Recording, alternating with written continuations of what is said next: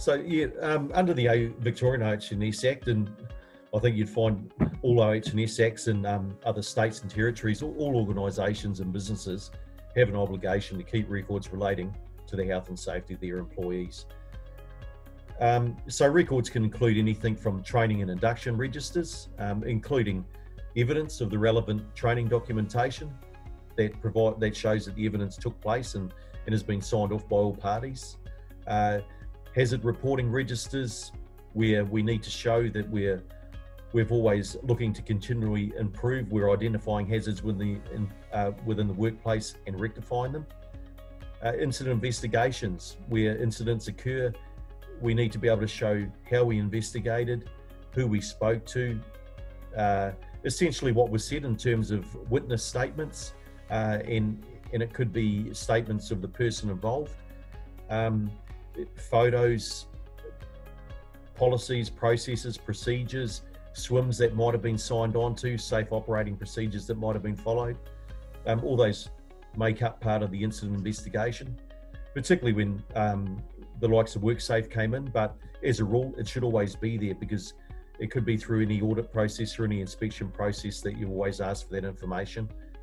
Um, health surveillance registers in terms of the monitoring of um, the health of our staff if they're exposed to certain substance, substances or if they work in areas where they might wear PPE as a substantive part of their role.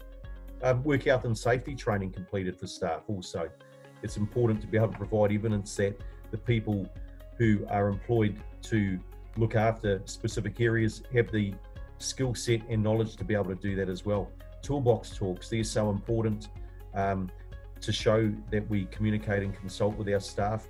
And that again, too, from toolboxes, that any issues raised or any hazards identified are closed out accordingly. Um, health and safety committee meetings, um, doing reviews of risk assessments every 12 months to show again, too, that we're identifying the risk within the business and that we're constantly reviewing it as well. So, where risk might um, increase or there might be added risk, that we're actually taking that into account.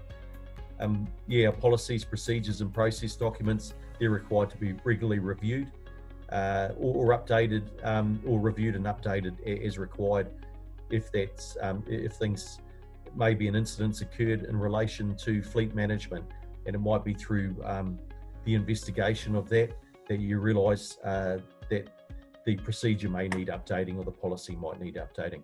Um, at the moment, a big one is COVID 19 registers. That's a register that's come into play and that's important to have in place.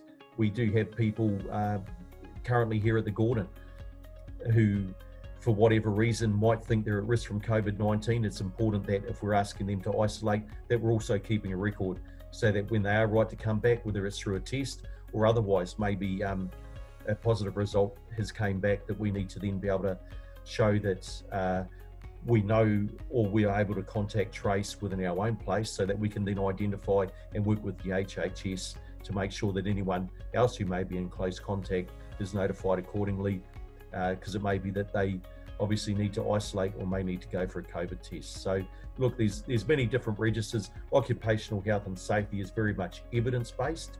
So it's not just one thing saying we've done the training.